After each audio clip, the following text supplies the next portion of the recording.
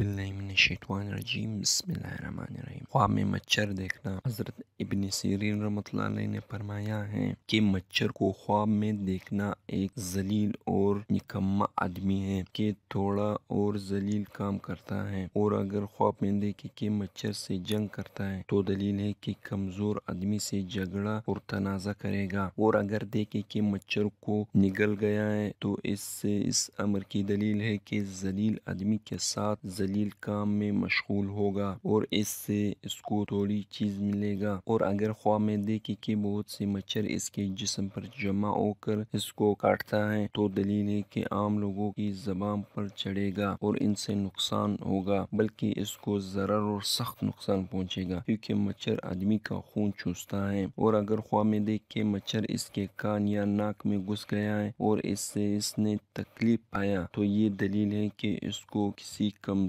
कमज़ोर आदमी से रंज और दुख पहुँचेगा। हज़रत इब्राहिम